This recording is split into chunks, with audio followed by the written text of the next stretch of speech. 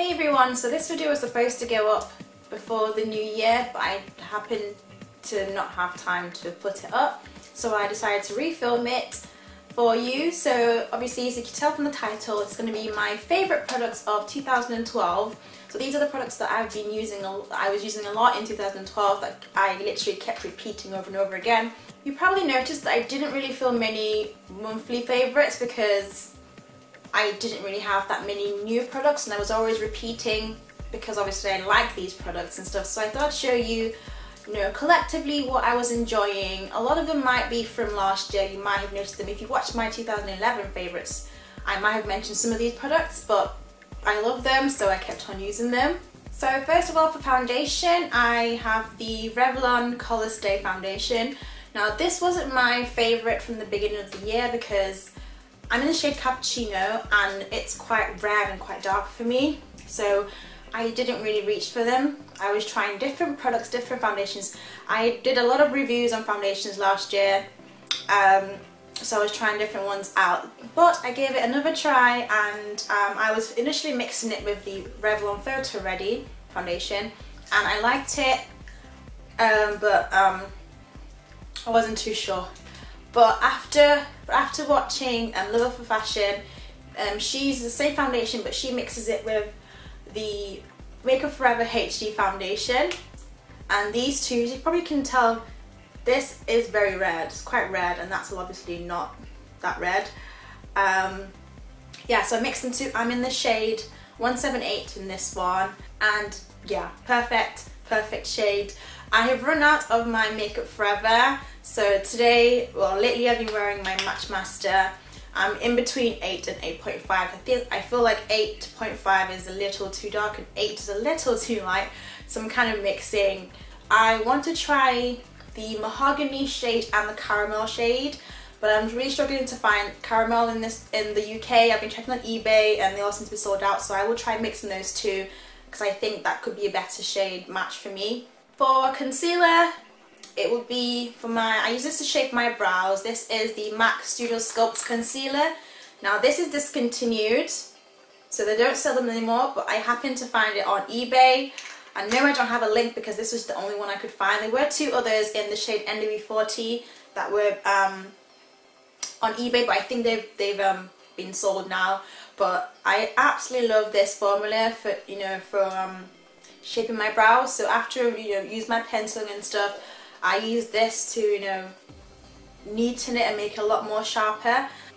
You know how like, I don't know how to explain like Play-Doh, that sort of creamy type, gulpy type um, texture. I prefer it to the Studio Finish and I have been using this every single time I do my eyebrows without fail. The one I have is pretty much almost run out but I happen to find this one so I'm so happy and I definitely will keep using it. I haven't found anything else to replace it and I'm happy that I found this. I will keep searching to see if I can find it you know online and stuff but that that concealer is amazing for my brows. Not so much for my face. I tried it on my face when I first bought it and I didn't like it. Another concealer which I obviously discovered towards like the end of the year is the Maybelline Fit Me Maybelline Fit Me concealer which looks like this. It's um, a light coverage it comes in this like, um, what do you call it, doe applicator. I use this for my under eye, just to give that under eye bright effect and I really, really liked it. I, it originally wasn't in the UK when I first got it, it was only available in the US, so I got it, I got it online I think, on eBay. But they've now, they've now introduced it to the UK. This is the shade 30. The shade 30 in the UK is darker than this, so it's quite strange. Um, so I go for the US version, but there's a 13 and a 35. 35 is too dark, but this is under my eyes. Pretty close to the NW40 shade as well. I really like it, but now I've, I've switched to something else. I now use the Studio Finish in NW40 under my eyes, and that's a lot more like fuller coverage. It's like really, yeah, heavy duty concealer.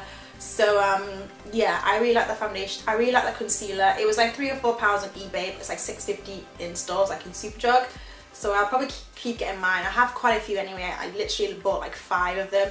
So I'll probably keep using that for now. For powder, you definitely know what I'm going to say. It would have to be the Ben Nye translucent face powders. I have three shades. I have Chestnut, which is like my all over face powder. That. Topaz, which I use the under eye if I want that sort of not too bright everyday, um, not too bright everyday look. I want to wear this every day. And then I have Banana, which is like literally universal, every shade. To be honest, every shade can use this depend, depending on how you, you know, apply it.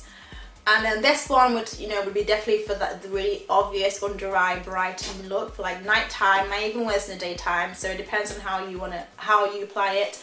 But these powders are absolutely amazing. I think I first discovered them from um, Little Pumpkin Pie Jackie.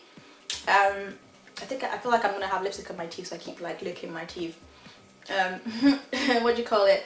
Yeah, um, Little Pumpkin Pie first introduced this. I know it was it came out before she used it, but I just happened to she sold me on them. I loved how it looked on her skin, and I had to get it. I think I first got banana powder first, and then I got chestnut, and I got the other ones. But I absolutely love this.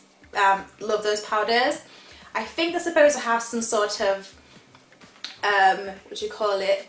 Oil control to them. I don't know how true that is. But um, I use my banana powder in my T-zone as well anyway, so um, if it does the trick, then I guess it does, but I always have my blot powder. Which brings me to that, I have my MAC blot powder. This has been my holy grail lifesaver Oh yeah. Um, it normally comes with like a powder puff, but I don't have it. I need to, you know, wash it. It looks like that. It's basically like a powder that sort of blots um, oils on your face. I think it has like silica in it or something. Um, so I use this in my T-zone. After I apply my face, whatever, everything on my face, I use this in my T-zone and sometimes on my chin and around my nose because that gets quite shiny as well. And it's been a lifesaver. I never leave home without it. If I do leave home without it, I, I, it's happened before, I had to buy another one just just because I left it. I don't use a face primer anymore, but even when I did do, I still felt I needed to use my blot powder. But I think I am less oily without a face primer than with. So um, I love this, this foundation, this powder. And yeah, I think I'll always continue to use this until I can figure out how to not be oily. Another face product, you definitely see this in all my tutorials. I never ever do a tutorial without them, without this. It is the Sleek Face Contour Kit. Hello, I'm in the shade Dark and I have hit Pan, but they, oh yeah, they also come with a, a highlight bit as well. So this is a gorgeous colour for you, for those who want a nice like glowy skin. And then it came out with another one, which is called the Face Form. Pretty much the same concept, but it has a contour, highlight, and then some sort of blush. But it's like a, sorry for reflecting, it's like a um, bronzing type blush. It reminds me of Sunrise or um, yeah, Magic Sunrise. But this is £10 and the other one was £6.50 or £7. Amazing products. I love Sleek, you know I love my Sleek products. And ever since I lost my um, MAC Blunt Blush, I always use this and it's absolutely amazing. For my skin tone and if you're lighter as well, um, like NW45, NW40 maybe. Um, this shade is amazing. The, the, the um, contour colour is perfect. You definitely can see on your skin. For those who are darker, um, for those who think who feel this, this doesn't show, I will probably suggest using, using like some sort of dark brown eyeshadow, but make sure it's matte because you don't want to have like glitter all over your face. The CoverGirl bronzer in Ebony Bronze. This I, I got introduced by um, watching a lot of Makeup Dolls videos. She used to, she normally uses this a lot and um, was I gonna say? Yeah, it's amazing. If you don't want to use blush sometimes, this just has this just helps add like warmth to your face.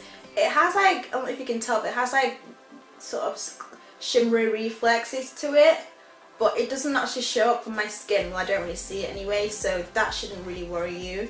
Like I said, it's not available in the UK, but you could probably get this on Amazon. Maybe eBay, but I doubt that very much. I got this through a swap, so I was able to get it. But um, I love, I love it. Brushes, they would have to be my Real Techniques brushes. I do have a couple of other ones, but I don't know why I don't have it here with me. But these are the ones I use predominantly for my face. yeah. this is the buffer brush, so my foundation, sorry the dirty, but obviously you know that I actually use them. The buffer brush, so this is my liquid foundation, amazing for blending, it's so soft and so smooth, you don't leave, it doesn't leave you with like streak lines or anything. Um, and then you have the contour brush, and this is what I use for my contouring, so contouring my cheekbones. And then we have this pointed foundation brush. This one I don't use for foundation because it's just it's just too small. I sometimes use it for under my eye to apply my under eye concealer. It's really small detailer, but I think it's called the detailer brush. This I probably just use for like my tear duct to apply colour to my tear ducts because it's so small. Or you could even use it as your lip brush. But these ones are going to be my like main holy grail brushes, the face because I absolutely love them.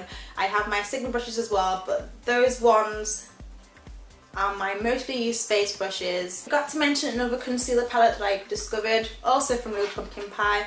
It's the Coastal Scents Camouflage Palette. Comes with 10 shades, and I mainly use this on clients really because it's a lot of shades in one palette.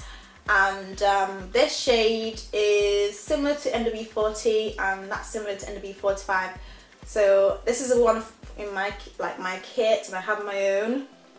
But um the only thing I'll say about the only thing I'll say about this concealer is that it gets quite dry um, so sometimes I just like run it over my radiator or something or like my heater just to warm it up a little bit but um gives good coverage as well and I used to use it under my eyes but I switched from that I don't know I just felt like it got a bit too dry.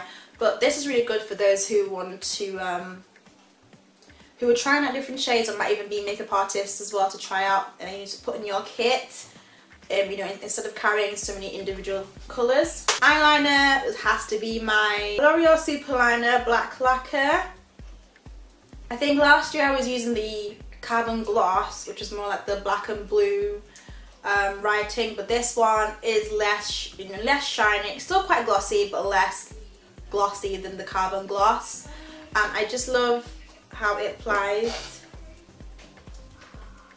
I'm filming babe I see the paint what paint I seen it where your paint I haven't seen your paint You're you looking for it yes about the color which one the new one Yes. It's by the dog. It's over there. Don't touch it. Hmm? Don't touch it because it's going to be heavy. This is what the um, applicator thing looks like. I love how black and thick it makes, you know, my liner and I pretty much use it in all my um, tutorials. Also this MUA pencil as well from my waterline. Only pound and it's just amazing. Amazing. It's very black and very um, it actually shows up on my eyes. So that's another one I'd say for eye products I absolutely love. Eyeshadows, why isn't it here? I should go get them, I forgot my eyeshadows. From my MAC palette, which is looking quite disgusting, I'm just going to pick out the ones that I was using a lot because I, I just can't show you this palette, it's just really horrible. Uh, my One of my most reached for eyeshadows from my MAC palette is Swiss Chocolate, I don't know if you can see that. It's like a light brown, light brown, medium brown shade and I use this for my transition colour so most of the time when I would do a look so I'd have my highlight, my eyebrow highlight, my actual like crease colour whatever and then I'd put that in between to get to give that sort of gradient effect. Where is my vanity palette? Oh god sorry. Another eyeshadow palette which you know I talk about all the time and it has to be the Wet n Wild Vanity palette. The brown shade in the corner I use for my eyebrows to fill in my eyebrows. I absolutely love this palette. I love Wet n Wild. You know I love Wet n Wild. Literally all their products I've tried. Absolutely love them. I have a whole collection of them. And yeah, so this palette amazing. You can do a lot of looks with it and yeah, I love this palette. I have about six or seven because, simply because each one seems to break. I can show you another one that I have. Look at that one. That's the one in, currently in my makeup bag and that's missing two shades as you can see on top there. I've always hit pan with the brown shade. I have so many like that because that's just what happens to this particular palette. My absolute favourite lipstick of the year, as you know, is Wet n Wild's 908C Sugar Plum Fairy. And this is supposed to be the dupe to the MAC Rebel lipstick. Now I lost my Rebel lipstick and I don't miss it because this is even better. Absolutely gorgeous plummy purple shade. I don't have that on today but I literally wore this a lot, a lot, a lot, a lot and I love it. For hair products, this was also discovered um, towards the end of the year. So this Tresemme Argan Moroccan Oil Straightening Spray. Amazing. So when you wash your hair, like shampoo and condition your hair, you leave your hair wet, you spray this on your hair and then you blow dry it and it honestly frizz free, it's like silky smooth, amazing and I'm so happy that I discovered this because most of the time when I, you know, I like to, I don't like to wait to air dry my hair, I like to blow dry my hair pretty quickly so you see all the short strands and everything was from the heat. I know you do use, you meant to use heat protector as well but it doesn't seem to help but this honestly works to, you know, to reduce the frizz and those short hair sticking up. I wouldn't use this if your hair was dry because it's it's got argan oil so it will look quite greasy if that makes sense. So I'd spray this if my hair was wet and it's amazing so I just had to show you this. And I think that's it for my 2012 favourites. So I really really enjoyed this year in terms of discovering new products and the ones I've showed you I absolutely absolutely love them and I will continue to use them. If you do have any new any products I haven't mentioned that you'd like me to try out, definitely leave a comment down below. Even tell me what your favourite 2012 products were as well. So anyway, thank you so much for watching guys and hopefully see you in my next video. Bye!